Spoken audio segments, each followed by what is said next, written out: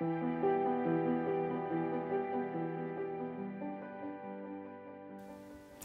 Queen supports Black Lives Matter.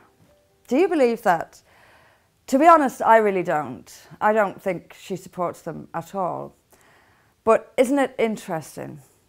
Football is supposed to be neutral on politics, but still footballers get on their knees to Black Lives Matter. The police are supposed to be neutral on politics, but they too bowed down to BLM.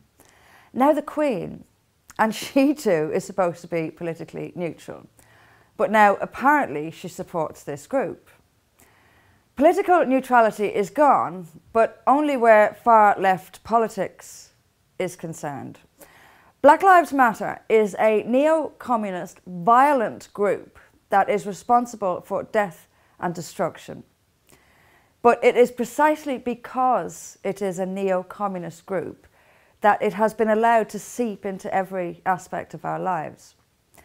It's worth noting, though, that reports claim that a royal aide said the Queen supports Black Lives Matter, not the Queen herself. But the monarchy needs to be careful about this.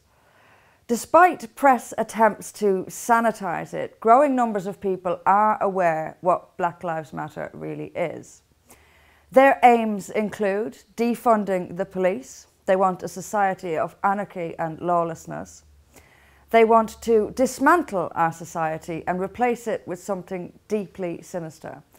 They want borderlessness, an end to capitalism, an end to the family. We know what this is, and much of the British public knows what this is.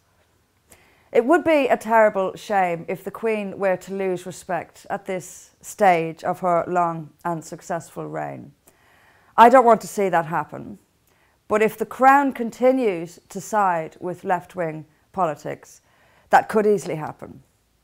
Left-wing bullies need to be stopped in their tracks. They dominate all areas of life, and now they are claiming the Queen.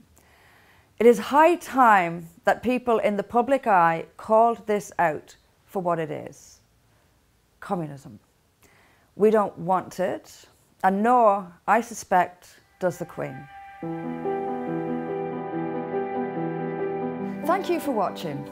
If you would like to stay updated with all of our latest videos, please like the video below and subscribe to our channel. As you probably know, For Britain is shadow banned on most social media, so it's really important to like and share our videos in order to get our message out. Thanks again for helping us to fight back. Thanks again for helping us to bring back